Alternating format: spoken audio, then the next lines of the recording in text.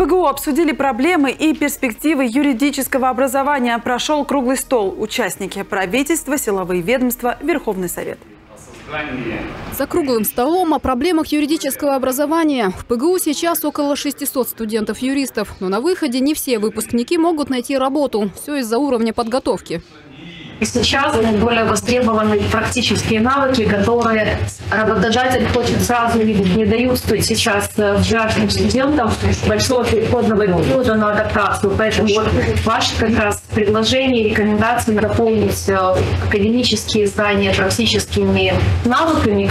Больше практики. Это и стажировки, и деловые игры. Еще проблема. Мало опытных преподавателей. Необходимы курсы повышения квалификации. В ПГУ сейчас юрфака нет. Отдельные кафедры в составе Института государственного управления, права и социально-гуманитарных наук.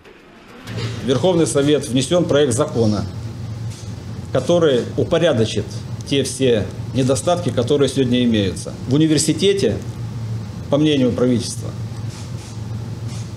преподавание права должно осуществляться на юридическом факультете. Это должен быть факультет. Еще на круглом столе говорили, есть проблема правовой грамотности. Разобраться в тех же законах, конечно, поможет юрист. Но свои права и обязанности должны понимать все. Просто знать о праве уже недостаточно. Необходимо не только развернутое знание о юридических нормах, но и также о механизме защиты правовых интересов. И здесь большое значение имеет повышение правовой подготовки, правовой культуры всех граждан нашего общества. То есть государственных и муниципальных служащих, руководителей хозобществ, частных предпринимателей, менеджеров и так далее.